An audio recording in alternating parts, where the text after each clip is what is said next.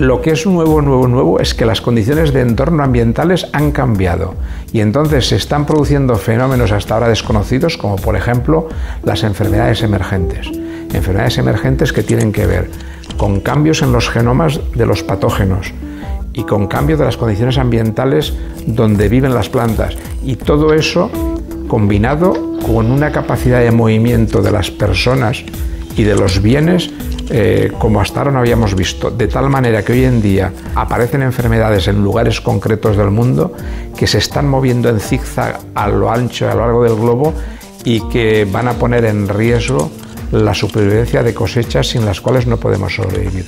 Y podríamos hablar de especies en riesgo, por ejemplo, incluso aquí en la comunidad valenciana, que vamos a ver si somos capaces de controlar. La solución a las enfermedades emergentes no necesariamente pasa solamente por la ingeniería genética.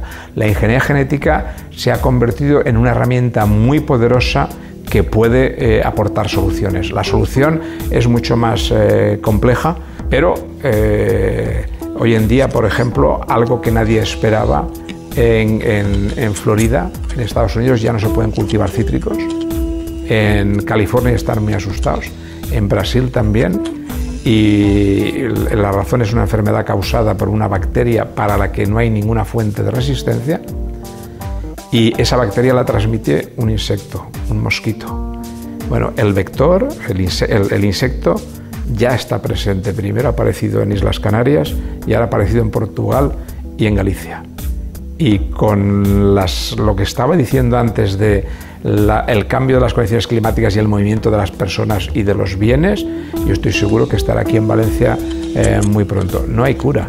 Tenemos científicos eh, ensayando estrategias, entre otras, de ingeniería genética eh, para tratar de ver si somos capaces de evitar que ese mosquito transmita esa, enfermedad.